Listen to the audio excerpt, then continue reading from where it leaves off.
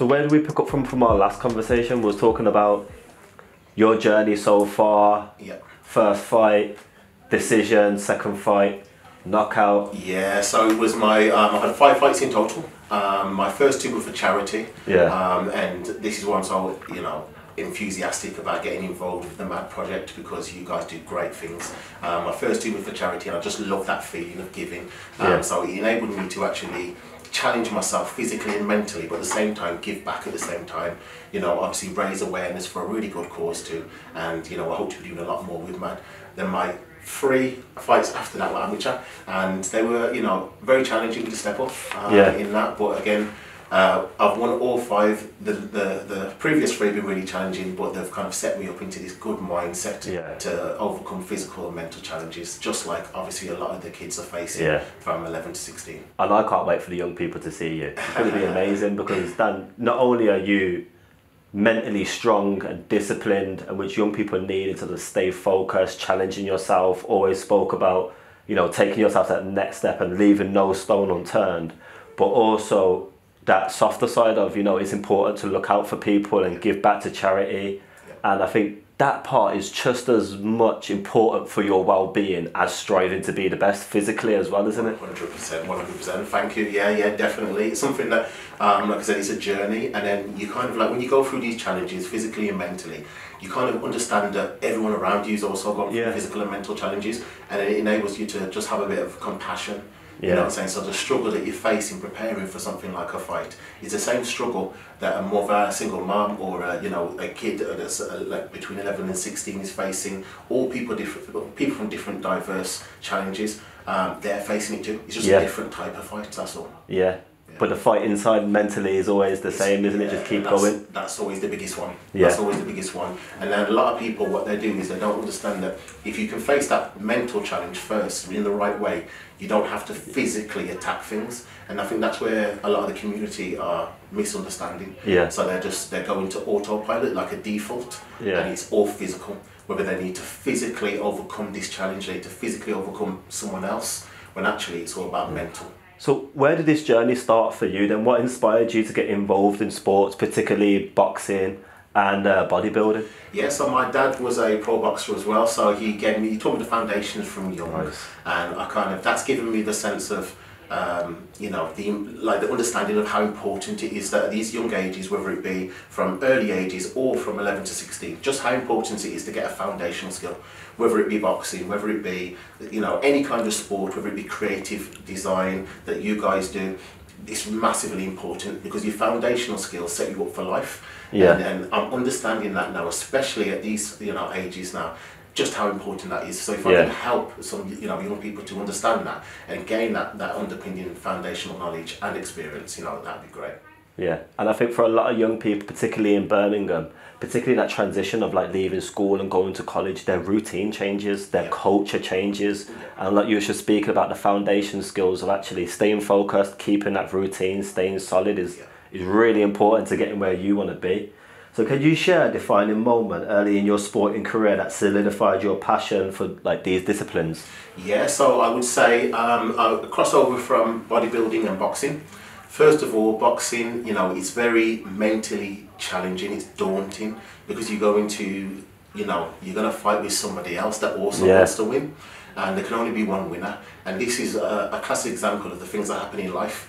Could be an interview, and only one person's gonna get it. It could be, uh, you know, a girl, and only one person's gonna get Yeah. it. But there are many other opportunities and some people you know are very fixated on one thing but i've understood and you know overcoming that challenge enabled me to realize that it's not so much about that one thing it's about preparation Yeah. because if you prepare you know in the best possible way for something you're going to win no matter what Yeah. you feel so in like um you, if you feel such a, achievements in your preparation and such success from it that it doesn't matter whether this one's going to fail or not Yeah. it really doesn't matter because you've gained the skills Yeah. and I think like helping young people to understand that, and you know, is going to be a big, big thing. Um, my second one was bodybuilding. Now, this isn't something that's completely physical when it comes to the end. Um, it's more, I say, mental because you know you've gone through resisting foods, your favourite foods, um, sacrificing, you know, going out with your friends and stuff like that. To then go on stage and be compared against a lot of people, and it's not a physical. You don't have any physical control over this. It's just based on judges and their opinion. So it's massively important to have mental strength Yeah. and be confident within yourself. So you know, a lot of kids are looking at social media now, Yeah. and they're seeing social media and the fact that you know people have good physiques and Yeah. see discipline behind it. And when they see discipline behind it, they understand that I want discipline as well. And you know, the MAD project, you do great things in actually, you know, uh, teaching discipline, uh, giving skills, creative skills, and stuff like that through the things that you do. And I think that showing kids, you know, the end product and what Yeah. you know, someone someone like me and the other guys at MAD and Yeah. Dan Smith, etc. You know, they've achieved a lot of big things, and it's come from that. Brilliant. And I think you, you said something really important there for that. I think really relates to young people. Whether you win or lose, it's just keep on going. Because we work with a lot of young people and there could be so many different scenarios for why they feel like they've lost at that moment in time. And they may feel like this is like the lowest moment for them. Um, what could you say to them in that moment that could potentially help them get back up? Yeah, if you're given 100%, you're actually at the highest point. Yeah. Because you are a lot more mentally prepared than you ever was. You've achieved something that most people couldn't achieve. And you've gone through a very hard route. So no matter how much it feels like you've failed, you're at the highest point because you were a lot more Yeah. prepared than when you started. And it's all a journey. Um, everyone in this room here right now, we've faced a lot of rejections, Yeah. a lot of failures. But the preparation leading up to that set us up for the next one. Yeah. So we were better prepared for the next Yeah. interview or, or, or fight or bodybuilding competition, whatever it may be. So you you might feel like you're at uh, your lowest point. You're actually at the highest point, and you're ahead of your your um, your competition in the next. Yeah. Um, what do you think was more challenge? What's more challenging for you, going in a boxing ring against an opponent where there's someone there, or going to bodybuild where there's a massive crowd watching you?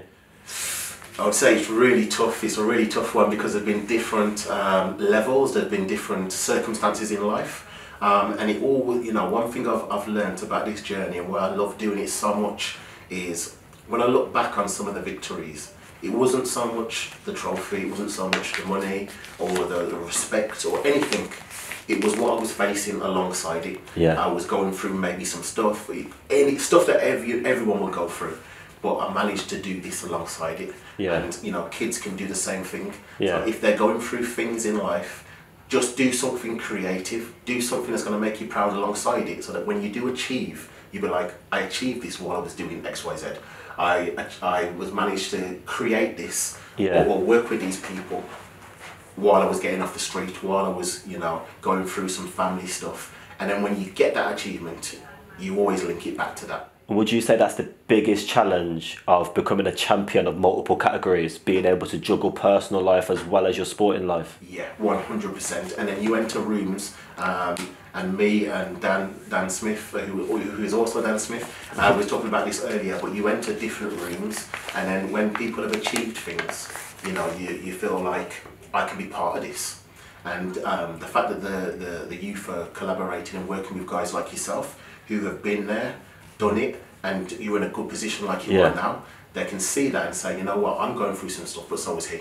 Yeah. And look at the position he's in. I could one day be there. Yeah. And then you work, go into different rooms. They introduce you to new people, um, and I think that's the, like a really key thing. So it's it's always it's always reflecting on what could go right Yeah. as opposed to what's gone wrong.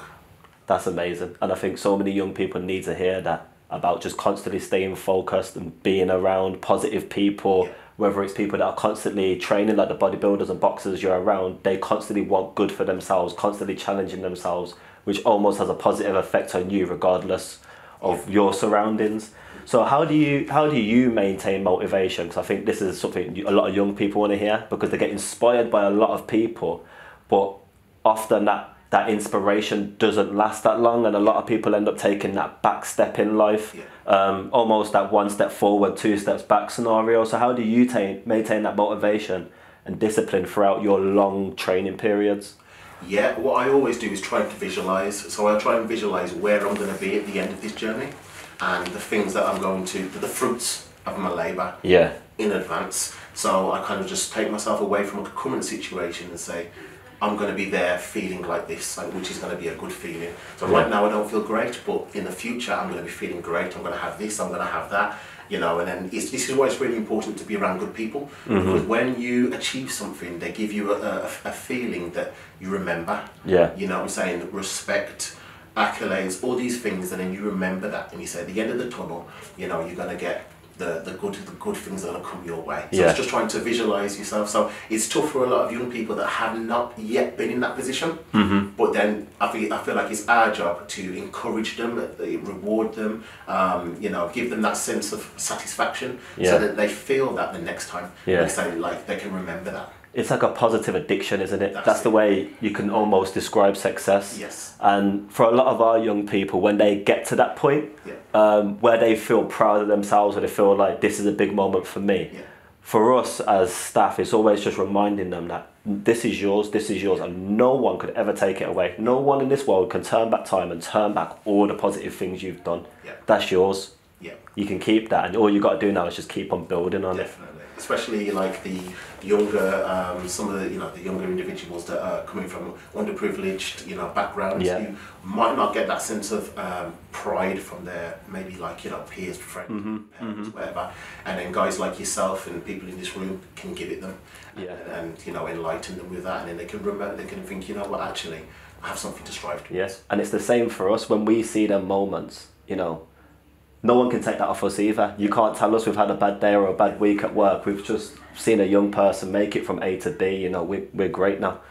Um, so what what made you decide to pledge ten grand to Sport Birmingham? Yeah, so I collaborated with Dan Smith, who I've seen doing great things, and he's been doing great things for a while. Um, we've worked together on um, previous things, um, and especially within the sporting sector.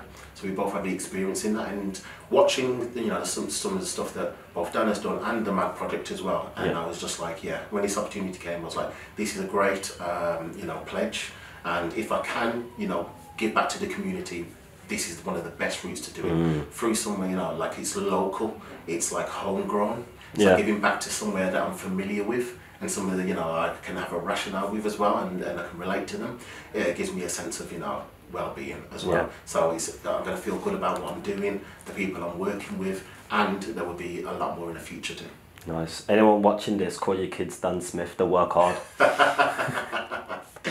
so my last question for you then is what what legacy would you like to leave behind in the sporting world? one that um, people can look at and say, I want to do something similar. So whatever it may be, whether as long as I'm pe- giving people a good, um, you know, feeling physically, emotionally, so whether I'm helping them to lose weight, whether I'm helping them to eat better, whether I'm helping someone get off the streets, you know, I want to be able to influence other people to do that also. Yeah. So leave a legacy behind that I've been doing good, I've raised money, I've worked with good people, and um, um, you know they continue to do positive things also. That that's that's really good to hear, and I think for us as well, I think you've already left a massive legacy in terms of engaging with the MAD program. You know, we've got young people like like I was saying to you earlier off camera. We're engaging with about three hundred young people this week alone across the summer. So to know that potentially these young people will get to meet you, and you got these inspiring stories and. It's not always been sunshine and rainbows. If anything, it's been the opposite. It's been hard work and graft and hard work and graft to get to the point where you need to be.